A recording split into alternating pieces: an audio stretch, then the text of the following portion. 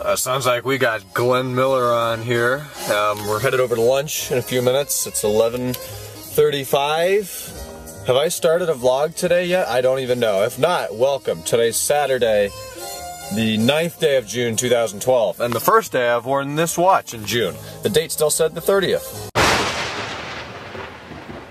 So it's a beautiful day. It's about, uh, let's see, we got 75 degrees and the sun's out. I'm hoping to go to the pool in about an hour or two. Um, so we're getting stuff ready for tomorrow. Lots of furniture out and crap. So that's what we're doing today and uh, I'm hungry, so eating should be nice. I don't know what he's looking at, but must be interesting. Afternoon, ladies and gentlemen. Headed to the pool. A perfect 82 degrees. Should be freaking awesome. Holy crap, 90 degrees. Not visible on camera, but there's a Maserati uh, GT back there. So what? What are they? Uh, they am all like these like two Tradition. Tradition.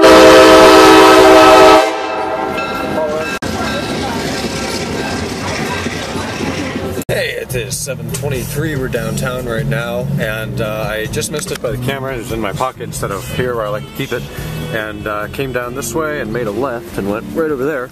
Was the latest generation Mercedes E-Class in the E63 AMG version, and it actually sounded pretty good. Just going like that. I've, that's the second one I've seen. The first one I saw was in Century City, Los Angeles. Uh, so that's cool to see one around here. That is a a good sounding car.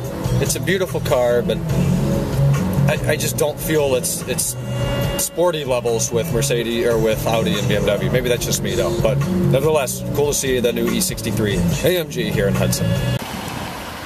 That looks good in white. Oh, replacing the Focus with that. Classier spring. We know Hudson too well. Ferrari 360 Challenge Stradale, as Taylor would say. See, the sound makes me sick. That is one of the worst sounding Ferraris I have ever heard, and Jack is just, If he gave he's, it- he's horrified. If he, he gave it, gave it- oh yeah, he could make it sound good if he wanted to. But there's people around, and unlike Taylor, he won't kill them. This is the uh, Z3, or Z4M, the only one I've ever seen in Hudson. It's a cool car, I guess. I, I don't think I'd buy, I'd buy a new Z4M. Sounds better than the 360. There's the deer. This is a new view of Hudson we have here. Up uh, over 303. I this is 303. Same guys. No fun. And uh, if a train comes right now, it's going to be great. Of course, he had to go home and switch cars.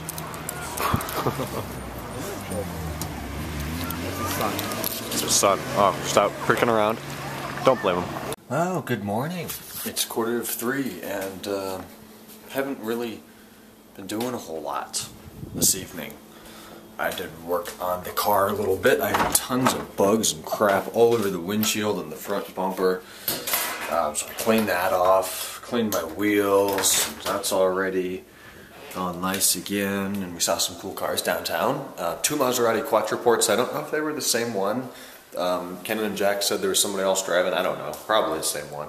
So we saw that and a bunch of Porsches and stuff. But everything's clean, and I need to get to bed because it's quarter of three in the morning. So good day today. Hope you guys had a good day, and I'll talk to you on another good day tomorrow. Good night.